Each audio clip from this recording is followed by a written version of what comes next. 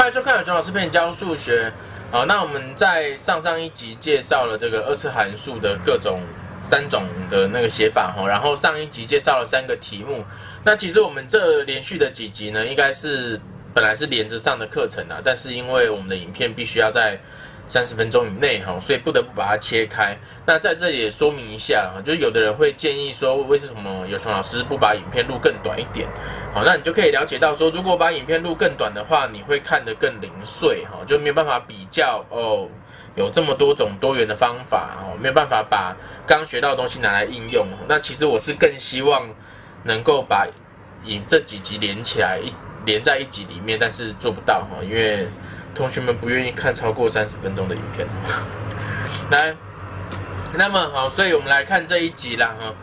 在这里呢，我们来看这个题目哈，y 等于负二括号 x 减 h 加 k 哈，那这是一个标准式哈，图形通过根号二零根号三零然后要求这个 h 和 k，好，那你就是在我们前面两集的这个说明里面，你可以了解到怎么样呢？一般来说，遇到这样的问题，我都会建议你就是不要理会。不要理会一开始的式子的形格格式哈，根据题目所通过的点来列式。也就是说，如果我设根式的话呢，设根式的话，那么 y 等于注意哦，a 已经有了，a 就是这个负二，好，就是说我标准式、一般式和根式的 a 是同一个，所以 y 是负二括号 x 减根号二。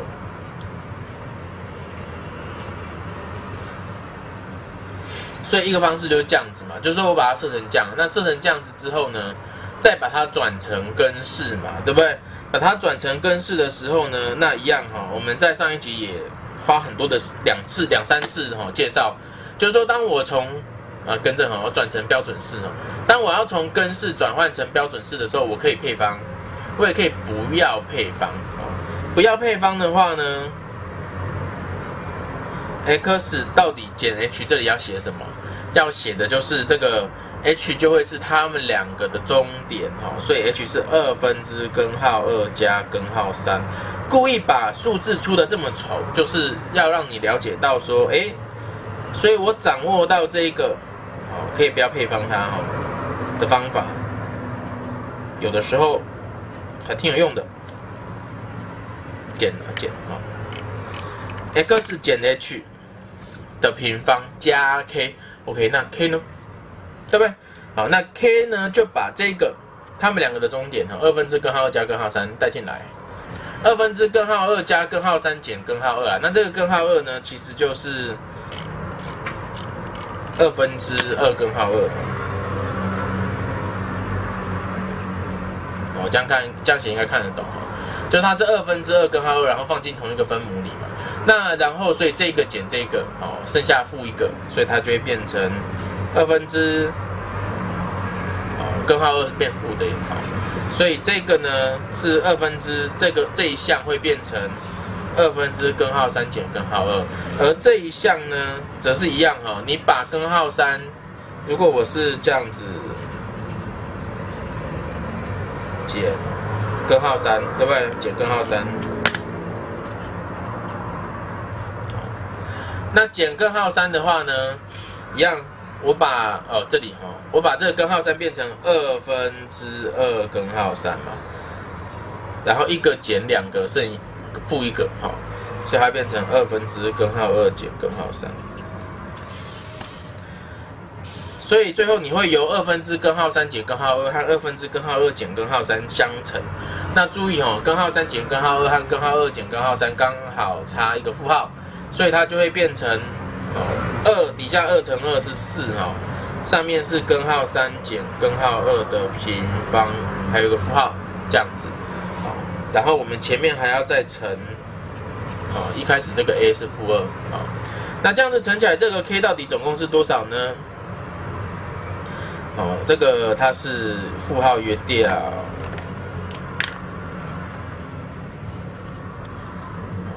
二分之的。三根号二根号三平方就三哈，三加二五减二根号六。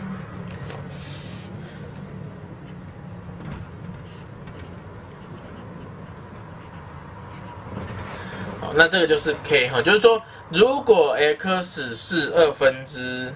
根号二加根号三的话，带进去解出来的函数值会是二分之五减二根号六。那这二分之五减二根号六就会是哦 f of h 嘛，就是 k，k 就是 f of h，就是说当 x 等于 h 的时候有哦 x f of x 会变成 k 嘛，那这个是一个极值嘛，对不对？这样子了哈，OK。那另外呢，哈一个做法就是说我其实在这里已经看出来啦，我可以从这两个 x 这两个 y 相同嘛，它是根式也罢，不是根也罢，它们两个 y 一样，代表 h 就会在这两个数字中间，所以我直接拿，我直接以这个 h 是二分之根号二加根号三这一点，把原本的标准式改写成 y 等于负二。括号 x 减二分之根号二加根号三平方加 k，我改设成这样子，然后呢，好，就是我用顶，我用 h 来得到这个，来来列这个式子嘛，然后把根号二零或者把根号三零带进来，带进来的时候就可以求到 k，因为你用根号二带 x 等于根号二带进来算一算。会变成零，那你一样会得到同一个 k，这样也可以，对吗？哦，那所以说我们接下来的这几集哈，就这一集和下一集呢，都会在就是应用我们前面两集所学过的知识哈，来去看各种的题目，让你们了解到一般式、根式和标准式在互换的时候的有的方法哈，还有技巧。来看这里哈，有一个二次函数图形，y 等于根号二 x 平方加二根号六 x 加派哈，他问你图形的顶点，那当然呢，可以配方法它，又或者我们在这里也就先不配哦，先不配方法它，来预言它的顶点会是什么？那因为我已经知道怎么样呢？好。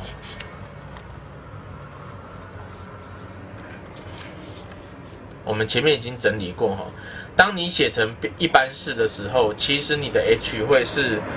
负 a 分之 b，h 会是负 a 分之 b，我就直接算也可以。那你如果你没有背，就配就配方法，负二 a 分之 b 哦，负二 a 分之 b 的话就会是写这边啊，负的根号二乘二二 a 分之 b 二根号六。所以二约掉根号二跟根号六可以约哦，剩根号三所以 h 是负根号三。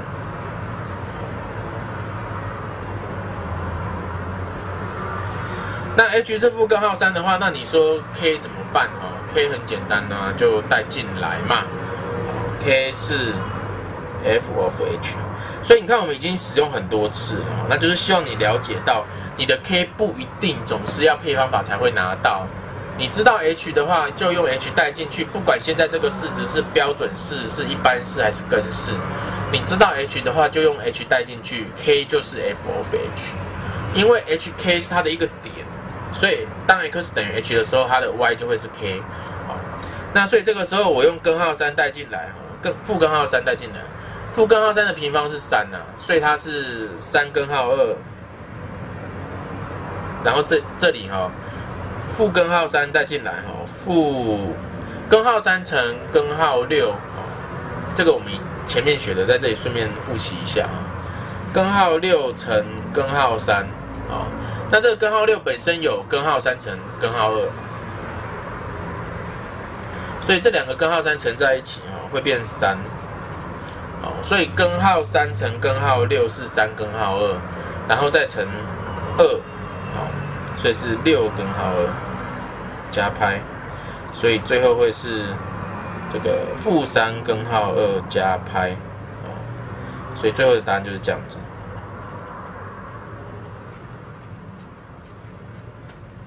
那当然你也可以配方法，那我们来配一次哈。这个时候呢，根号二先提到外面，拍不用进来哈。那根号二提到外面，这个也要跟着一提一起提根号二哈。那根号六提根号二出来还剩根号三，所以这里是加二根号三 x。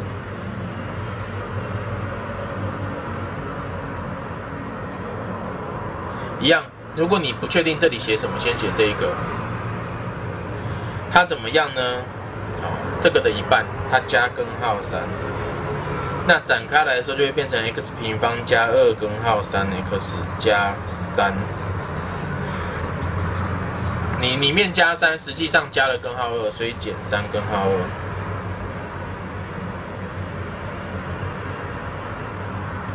所以你的顶点是。负根号三和这个拍减三根号二，对不对？好，那就是说配方也可以哈，你不配方它也可以。来看一下之前留下来的作业哈，就是顺便来练习哈。那我们在出作业的时候还没有教这么多种不同的解法，那就是至少你要会用我们已经教过的方式做，但是现在我们可以用比较多的方多的角度来看它们哈。他说：“把这个方程式平移向上平移三单位，向右平移五单位。哈，问你新图形的方程式。那你有两个做法，一个做法就是先配方法，取得顶点，还记得吗？我们那个时候说，你挑任何一个点去移动是不准的，你要挑出顶点。那挑出顶点的话，移动顶点。哈，所以我们来试试看。哈，它如果配方法的话，y 等于负的哦，x 平方减三 x。”等于负的 x 平方减三 x 会怎么样呢？好，这里是它的一半嘛，所以这里加四分之九。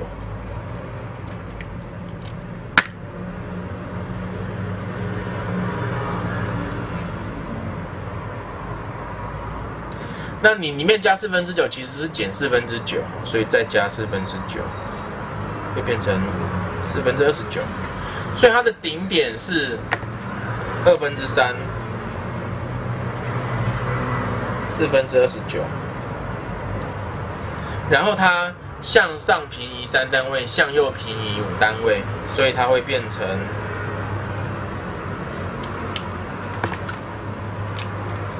二分之十三，然后四分之向上平移三单位加十二哈，四十一。所以最后的答案会是，注意哦，负号就是这个负一还是还是在哈，因为它图形造型没有变嘛，它只是平移而已哈。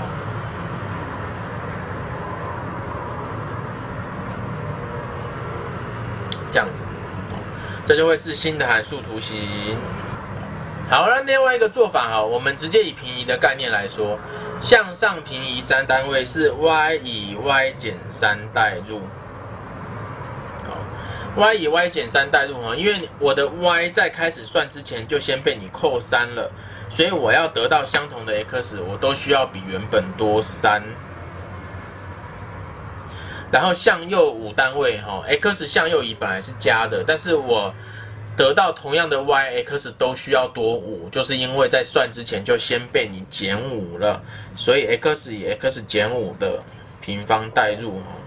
，x 以 x 减五代入哈。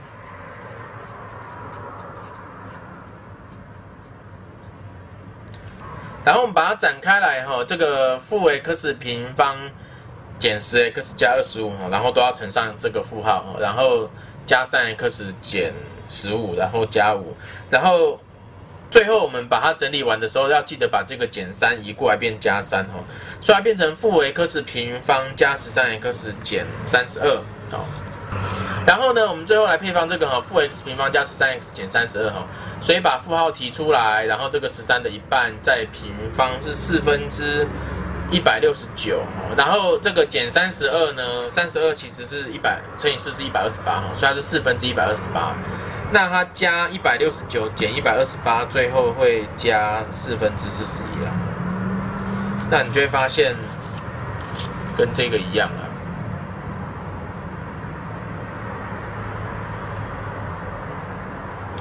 所以最后的答案就是这个，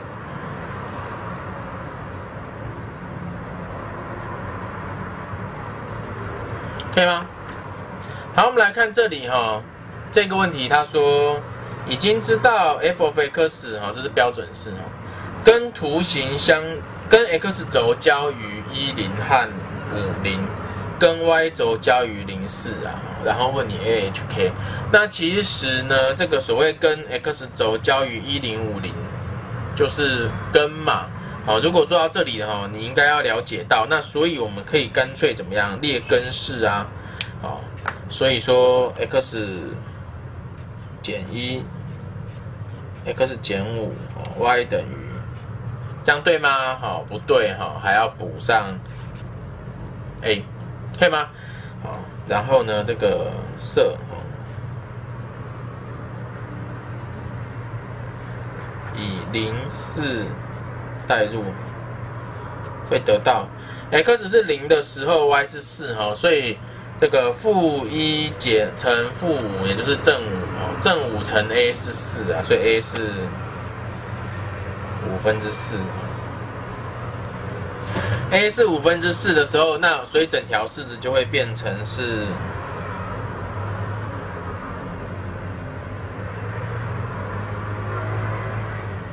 这样子。那当然，接下来哈，你可以选择展开来配方法它，又或者呢，不需要配方法它，就可以写标准式，x 应该要减多少呢？？h 就会是这两根的中间点，所以它是三，好，一加五除二是三，k 会是多少呢？k 就会是 x 用三代进去。三减一是二，三减五是负二，这两个一定会相反数，因为你的那个三在它们正中间哈，所以二乘以负二乘以五分之四，好，要注意这个是五分之四哈，所以是负四乘以五分之四是负的五分之十六，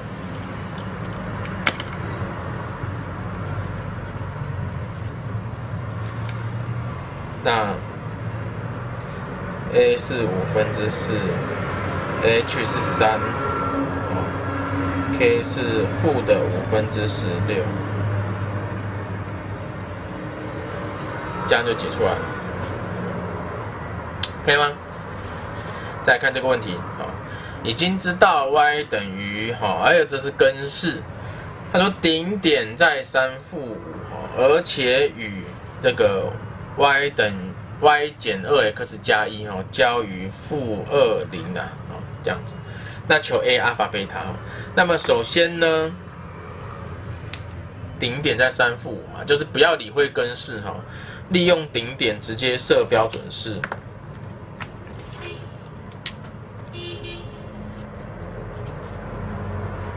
还是一样，不要忘记 a。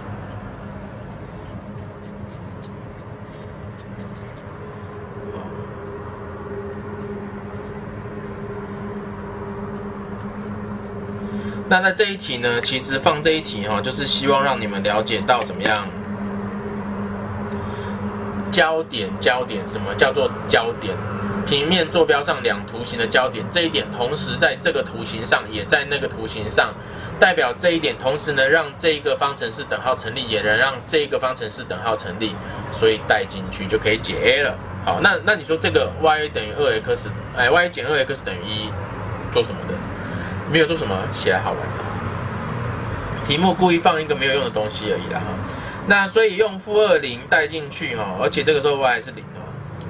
它是一根哦，但是这也不特别重要，因为你没有错到两根啊，错到两根的话，我就将就用一下。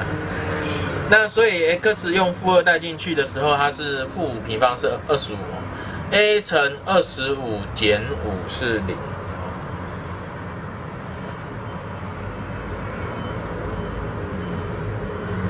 所以 a 是五分之一，可以吗？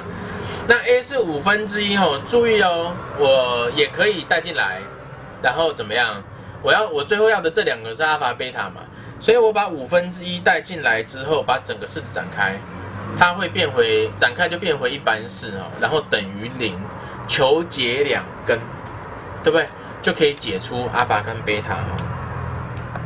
但是呢，我们不需要这么做，为什么呢？因为你已经知道一根是负二了，然后又我的开口是向上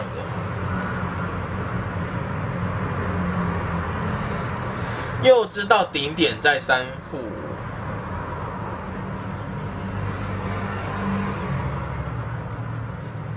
如果你还记得的话，哈，顶点的 x x 坐标哈就是 h 哈，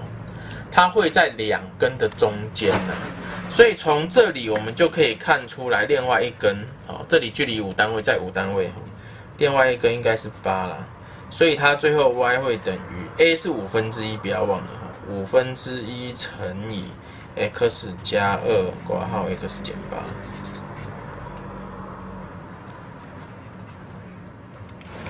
这样可以吗？好，好，我们来看这一题哦。他说 y 等于 x 减阿尔法乘以 x 减贝塔哦，这是根式哈。那也就是说，这个图形最后会跟 x 轴交于两点，一点是阿尔法零，一点是贝塔零。好，那这个阿尔法跟贝塔的点我是任意点的哈，就一个示意图哦，不一定就真的在这两点。但是开口向上这件事情我是知道的，为什么？我怎么知道它开口向上？因为这个 A 是一，然后注意哈，没有写，不是没有 A 哦，没有写 A 是一哈。那所以说它开口向上，然后过这两点的哈。那至于说这两点会在什么地方，这个我们还不知道。好，那他说它的顶点在一负哎 h 负一哈，所以顶点这里是 h 负一。然后他问你哈，这个阿尔法减贝塔的绝对值。那因为阿尔法是这个点这个值嘛，贝塔是这个值，它们两个互减的绝对值其实就是中间这一段线段长。那这段线段长到底是多少呢？这一题哈，因为这个图形它可以走来走去，h 你不知道嘛，所以其实实际上的值你解不出来，但是它可以用某一个方式哈来去解开它。那这个方式在后面的应用问题很常见，就是我们可以为了我们的需求想象。有现在有一个新的坐标轴，我把顶点放到新的坐标轴，好，就是原本的坐标轴是现在虚线这里哈。那我现在把这个顶点放到新的坐标轴，或者你想象把原本这个整个移去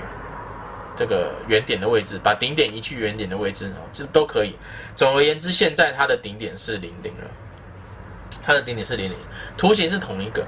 图形是哪一个？图形就是这个开口是 a 是一嘛，开口是这样子的嘛，那它的 a 是一嘛，a 是一顶点又零零的话，其实我们现在这条线的名字叫做 y 等于 x 平方，它就是一个跟它长一模一样的，但是移动到了移动到了原点这个位置。那我说，不管你是想象它移上去原点这个位置，还是想象整个坐标轴为了它移下来，都可以。总而言之，现在它变成这样。那现在它变成这样哈，这个图形在移上去之前呢，哎，顶点在这里哈，这里有一个阿尔法，这里有一个贝塔。那它在移上去之后，顶点在这里哈，这里有一个阿尔法，这里有一个贝塔，就是说你这里会有这样子。那我们叫它阿尔法 prime 和贝塔 prime。他想要知道中间这里，这个时候呢，alpha prime 跟 beta prime 它是处于 y 是一的时候，跟这个图形所交的两点。换句话说，我只要把 x 平方跟 y 等于 x 平方和 y 等于一做联立，y 等于 x 平方和 y 等于一做联立，在联立的时候所交的这两点。它的 x 值就会是阿尔法和贝塔嘛，对不对？所以你就会发现，其实这个时候 x 等于正一或负一哈，所以阿尔法呢其实就会是一，贝塔就是负一，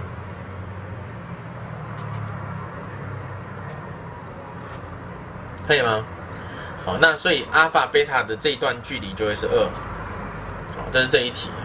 那就是顺便介绍一下这样子的一个做法，就是说，想象把原本的把题目问的这个二次函数移去零零，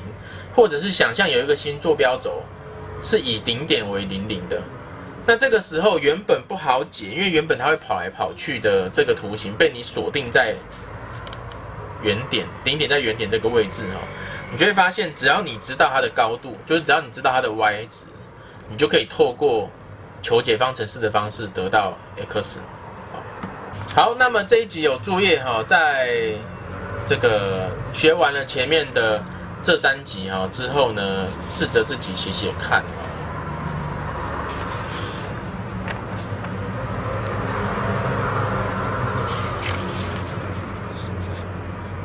那我们这堂课上到这里。